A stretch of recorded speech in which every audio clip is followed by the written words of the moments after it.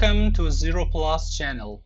Today we want to talk about Microsoft PowerPoint and uh, we want to explain how you can use different orientation uh, in uh, one presentation. Okay, uh, you can you can't have two differentiation orientation slide in one PPT file or one PowerPoint file project. So you need to have two file, one file, for example, landscape, and another file project, portrait. And you can link these two file and uh, you will uh, see uh, one project with different orientation or different size. Okay, let's go. And uh, now we have two file, project 2 landscape orientation, okay, and project 1 portrait. Okay. Now uh, I select uh, one object from one slide okay? Not problem. Which slide? I select uh, this slide and select this object right uh, and uh, then uh, go to insert tab and select action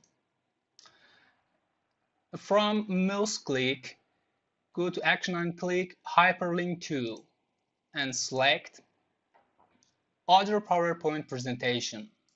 Okay, and select uh, project 1 to project 2.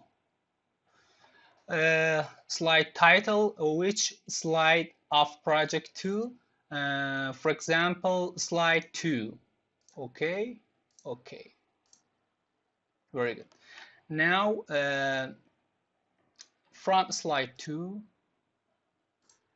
okay, this slide, select and select this object and go to insert tab, action, from mouse click, action and click to other to project one and slide one.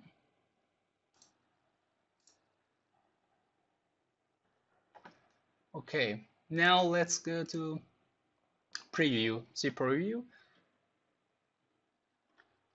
Okay, uh, click 5 preview, change swap present view. Okay, now uh, you can see project 1, click this object and you can uh, see another project in one presentation with different orientation. This is landscape and click this.